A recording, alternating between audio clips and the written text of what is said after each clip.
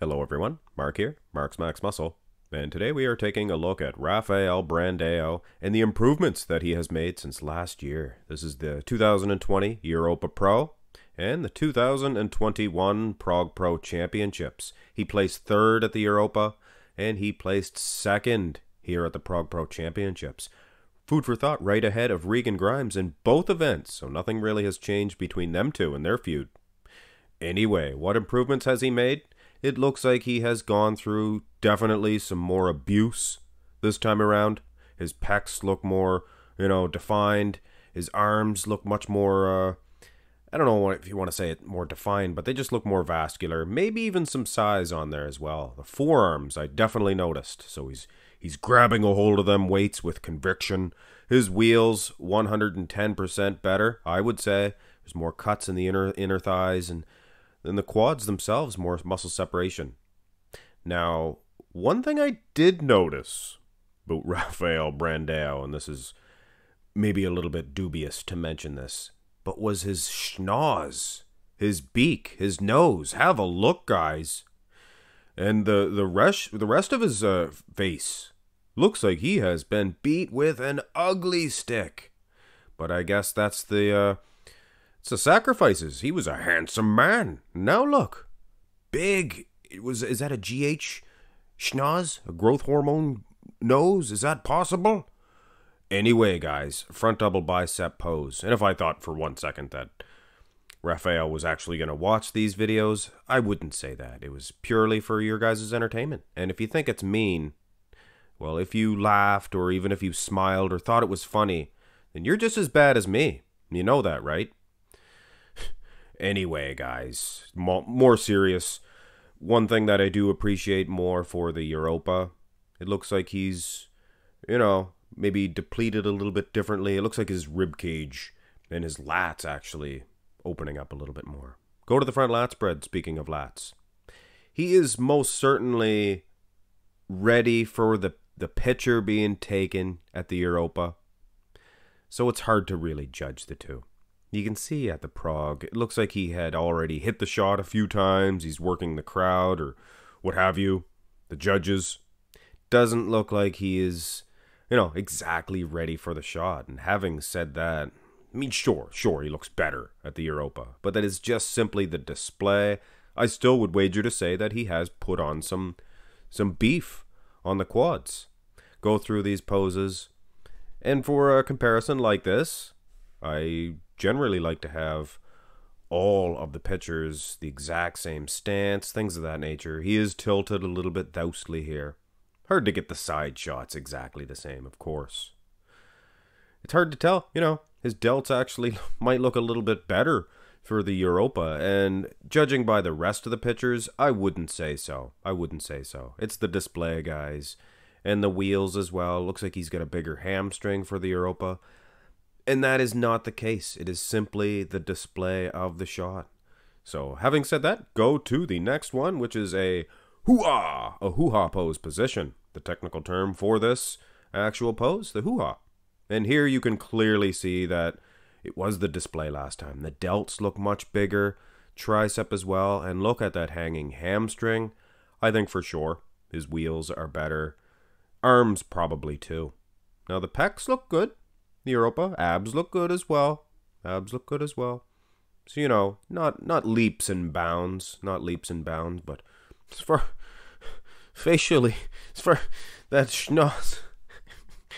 wow. Wow, GH nose all day and daily. Side tricep, same thing, guys, as the side chest, only 10 times worse. You can't tell.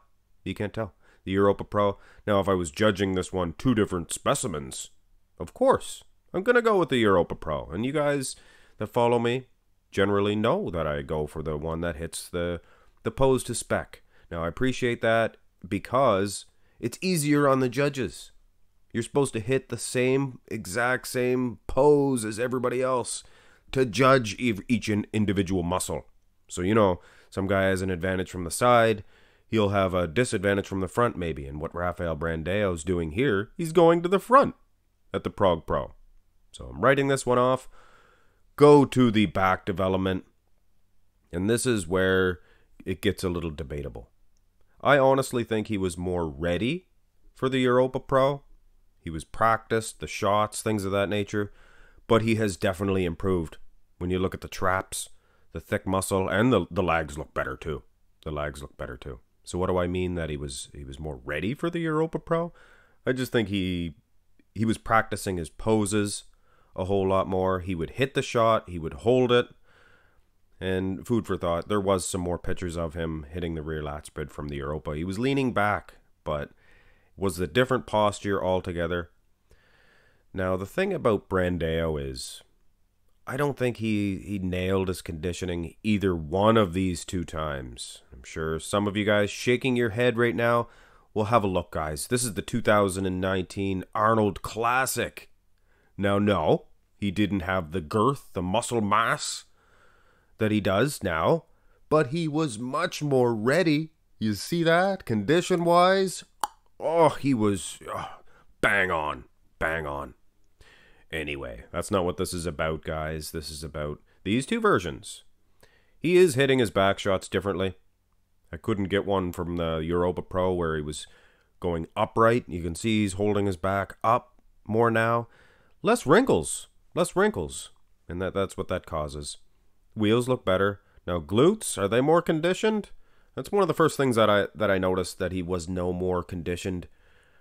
I think as far as the the glutes and the hamstrings are concerned than he ever was at the 2019. I mean, that was this is this could be Patrick Moore all over again, you know. Nailed it in 2019 and maybe never again. Abs and thigh, here was in the improvement. Now, it's harder to tell from these shots, but I mean for those of you who, you know, watch the videos, watch the video footage, things of that nature, he was not smooth in the abs. He has a small waistline. He just lacked that Nick Walker type muscle separation. And it looks like now at the Prague Pro he, he was he has improved in that for sure. Whatever type of ab workouts he is doing. I mean they say not to lift weights with your abs. It makes your waist bigger, but well, maybe it makes your separation in your abs better too. Anyway, ladies and gentlemen, I hope you enjoyed this one. The most muscular, obviously, you can't judge this one. He looks better at the Prague, for sure. He's going full crab or half crab, what, what have you. But it creates a whole lot of separation in those packs.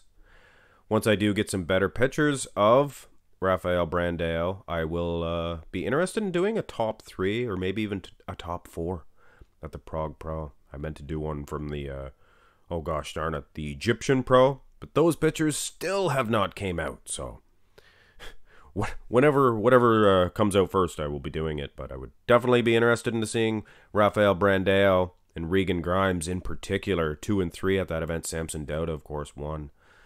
Anyway, guys, like I said, the schnoz is the biggest difference that I can see.